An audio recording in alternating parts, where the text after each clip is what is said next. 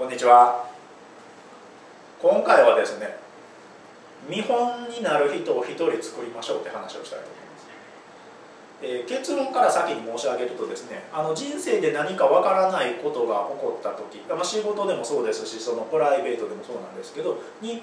あのお聞きになれるあの自分より人生経験が豊富な方っていうのを一人作っておいた方が絶対にいいと思います。あの何がっていうとですねあの人間悩み事ができた時に一人で考えると大体ろくな結論出ませんから、えー、大体多くの人はネガティブな結論にまっしぐらになりますから一人で考えちゃうことですね。っていうのとですねあのやっぱり人間その分からない時にその冷静になってるどなたかさんからアドバイス聞けるっていうのはすごい重要ですから大体人間悩んでる時っていうのは何がしかの正常な精神状態じゃないですからもう。あの例えばご両親がお亡くなりになった直後の方葬儀屋さんとかがそうですね。あのどなたか大切な方がお亡くなりになった直後の方ってやっぱり通常の精神状態じゃない方ばっかりなので普通の接客業と同じことしちゃダメなんですよね。だそういったその悩み事の真っ最中の方ですね。っていうのは精神状態はそもそも普通じゃないですから正常な判断をできないことが多いんです。あの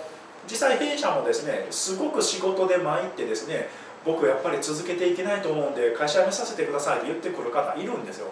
大体あのこの木と正常に戻ったらそんなネガティブな判断しないのにあ今何言っても無駄だなって感じの方がやっぱ多いです。残念ながら。なのであの巻いてる時に自分の脳で考えたら大体ろくな結論出ないですから。なので、えー、自分がなんか悩んでる時に相談に行ける自分より人生経験が豊富な方っていうのを一人作った方がいいと思います。あの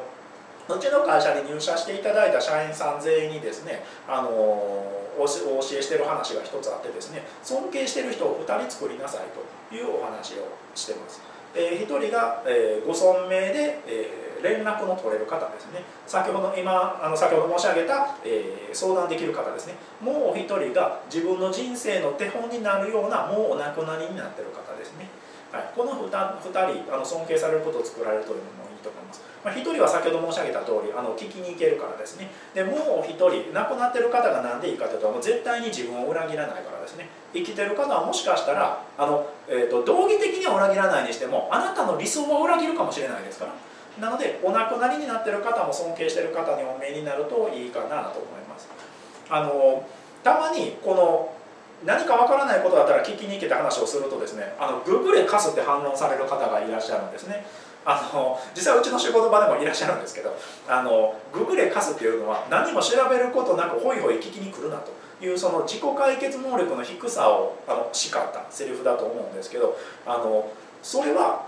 あるステージより上の話ですからそもそも何かわからないこと遭遇した時に自分一人で考えちゃう悪癖を持ってる方にとってはそんなことググレカスなんか教えちゃダメなのでえまずあの自分より知識の豊富な方に相談に行く。で相談に行く癖がすでに身についた方はその1ステップ上でググレカス自己解決能力とは何なのかっていうのを考えると。このステップの方がいいと思います。だから多くの方はググレカスって6回言われるまであのきちんと人に聞きに行った方がいいと思います。6回言われたら卒業です。ググレカスで6回言われたら、えー、1ステップ上に行ってですねあの自分で解決を一生懸命考えてから、えー、人に聞きに行くというふうに考えられたらいかがかなと思います。あの悩まれてる方のあの助けになればありがたいです。では今回はこの辺で。さようなら。